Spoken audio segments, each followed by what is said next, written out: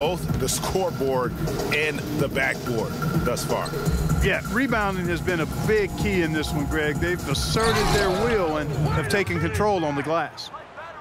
And for a power forward, he can sure get up.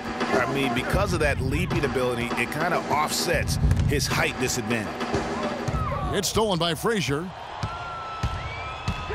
And he's going up for the alley-oop. Throws down the alley-oop slam.